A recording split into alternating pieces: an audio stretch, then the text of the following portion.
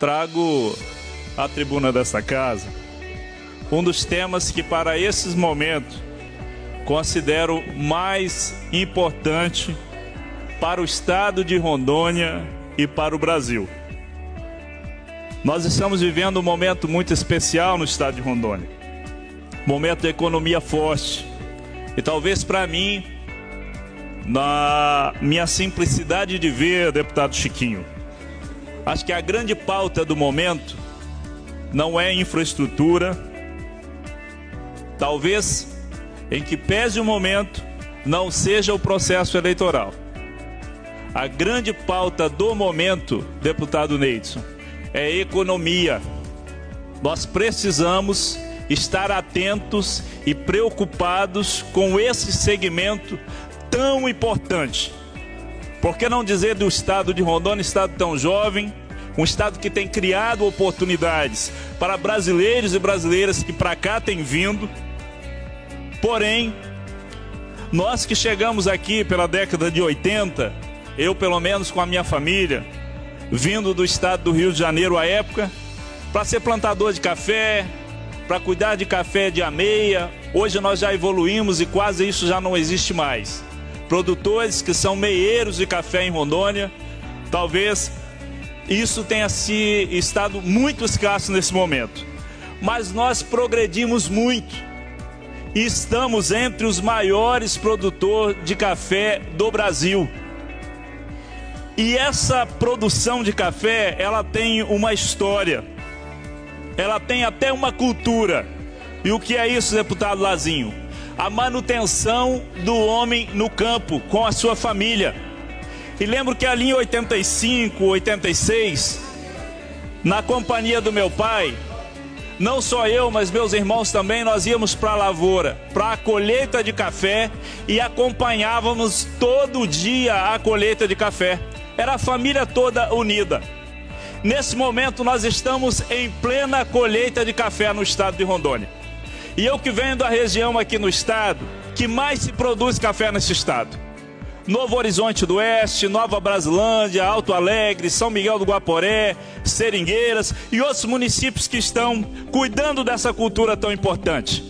Recentemente, nós passamos, e eu sei que muitos colegas aqui também receberam, mensagem de produtores assustados com a visita do Ministério do Trabalho. E aí me preocupa muito, uma vez que nós trabalhamos aqui sempre pela manutenção desse homem no campo, porque nós sabemos que a maior parte do PIB do estado de Rondônia é garantido pelo braço de homens e mulheres trabalhadores que enfrentam de sol a sol para produzir todos os dias. Chega no campo, o Ministério do Trabalho, a auditoria do Ministério do Trabalho, dizendo: olha, o menino menos de 16 anos não pode mais acompanhar o pai e a mãe na colheita, na panha de café, como assim se acostumam dizer.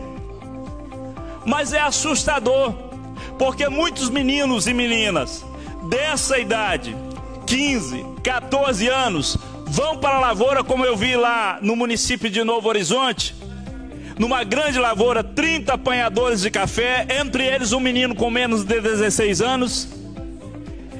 E o dono da lavoura disse: Sabe por que, que ele está aqui? É porque ele quer colher o café para ganhar o seu próprio dinheiro para comprar um aparelho de celular.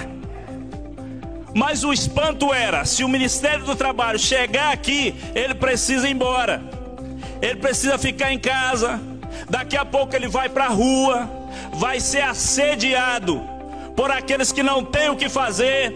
O mundo do crime é muito mais fácil de trazer a criança do que o trabalho. Então é mais fácil dizer que o menino não pode trabalhar porque não tem 16 anos de idade, mas de repente deixar ele na rua para ser assediado pelo mundo do crime. É essas coisas que me assustam. No momento, como eu disse, que a pauta mais importante para o Brasil deixa de ser uma discussão que nós tivemos agora há pouco. Ah, o combate à corrupção. Nesse momento, pós-pandemia, não existe uma pauta mais importante do que a economia. E essa economia, senhoras e senhores, passa, como eu já disse aqui, pelo braço, pela mão de homens e mulheres que produzem nesse estado. E aqui faço um alerta e aponto para essa discussão tão importante e relevante, que é preciso ser pauta daí do Congresso Nacional, até de respeitar a nossa cultura, de respeitar a nossa tradição e permitir sim que os meninos e meninas que vêm crescendo e que ainda moram no campo tomem gosto por isso. Tenham a decência de dizer: eu posso trabalhar e com o meu trabalho adquirir aquilo que eu quero. E não estar, de repente, sendo assediado por traficantes na rua, daqui a pouco usuários de droga. Então faço aqui um apelo preocupado com uma cultura importante que é o café, uma vez que nós estamos nesse estado que produz muito e nós precisamos dessa mão de obra.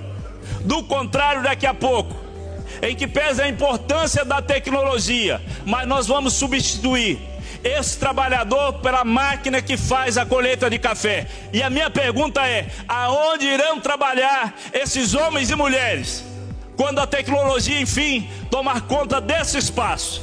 É preciso estar atento nesse momento. Se há que se ter uma preocupação com a economia, há que se ter uma preocupação com a geração de emprego e oportunidades para os rondonienses que aqui estão. Essa é a minha palavra, senhor presidente. Muito preocupado nesse momento para aquilo que se aponta o futuro do Brasil, para onde se aponta o futuro do estado de Rondônia. Muito obrigado.